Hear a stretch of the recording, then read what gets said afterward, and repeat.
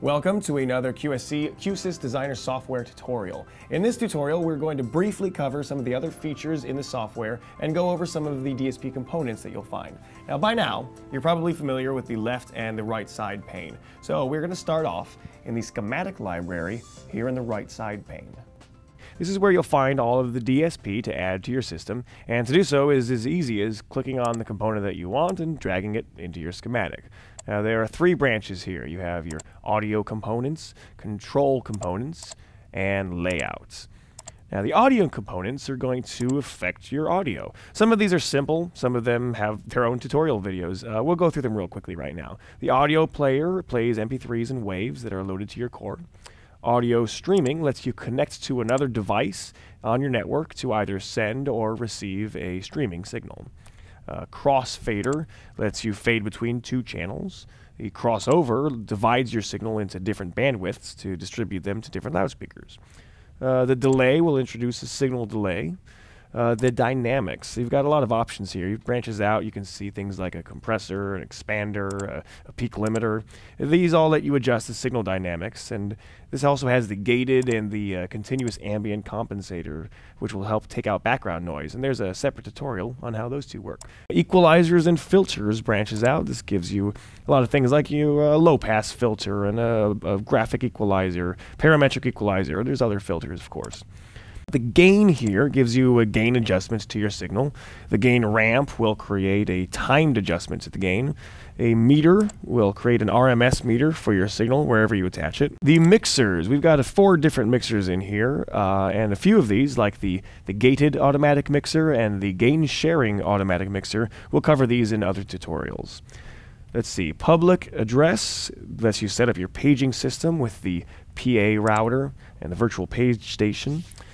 The room combiner lets you create a system for a room that has removable air walls on it. This one also has its own tutorial. Router provides simple channel routing. A signal presence will let you use, uh, you can use it to detect the existence of an output signal. System mutes will obviously mute the system. A lot of these are very self-explanatory.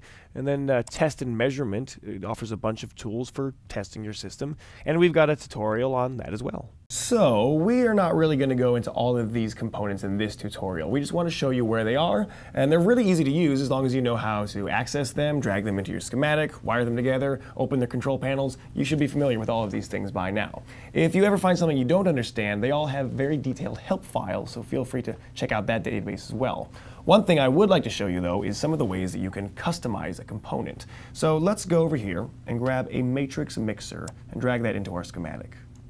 One thing you can customize is adding control pins. If you go to the right side pane and take a look at the control pins menu, then you can toggle extra pins. For instance, if I check the uh, input one uh, mute control pin here, you'll notice that I've got a new bar on my component that I can wire with new pins. What these do is allow you to create unique logic and scripting interaction between components. So let's say that whenever this input goes mute, I want uh, a specific audio file to play.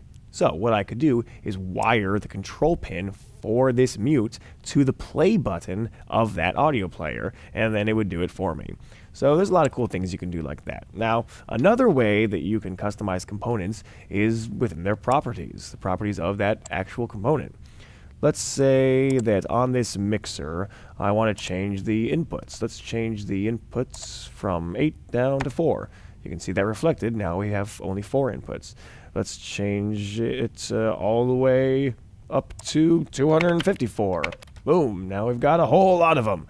And you can see that if we open this up, let's zoom out a bit, that 254 is clearly more than we can even see on the screen. Like here, right here, we've got about 30 of them. And we've got this new bank up here that says input bank, which will allow us to toggle which set of 32 uh, inputs at a time we're actually even looking at. So even that aspect of the component will change based on what you've done to it. Let's turn this back into something manageable again. Let's make it 4 by 4 and uh, say goodbye to our input bank. Now another thing you can do for this mixer, for instance, is we can change it into something visually different entirely. Like let's go to this 2D matrix panner and select yes. Now the visual representation of this component is completely different. And I'll show it to you. I got to emu enter emulation mode here hitting F6. Now this mixer, it's no longer controlled by those gain knobs, but you drag your input closer or farther away from certain outputs, and that controls the volume that you want that input to go to.